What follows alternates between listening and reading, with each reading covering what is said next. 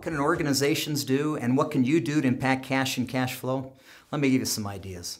Number one, anything your company can do to sell more. Now, you might feel like you're in a role that has no impact on sales. Maybe you're in HR or IT or operations. I spoke with a CEO recently who said, Look, there are only two roles in my company. People either sell or they support the sales process. And if my employees can't find which area they're in, I don't need them. So I would suggest no matter your role, you have line of sight and how to help your company sell more. Number two, anything you can do to reduce costs. And anybody anywhere in an organization can find ways to save money. Three, when people owe you money, make sure you get that in as quickly as possible. Uh, the reason being, if you can get that cash in faster, you can put it to work. At minimum, you can put it in the bank, and even though it gets a low return, it's still getting something.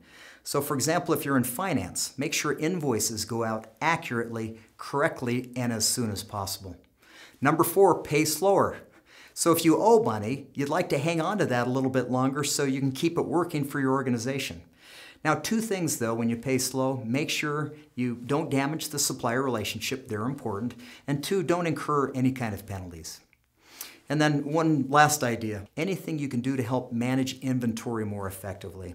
Uh, the more inventory you hold, the more cash that is actually sitting in that inventory.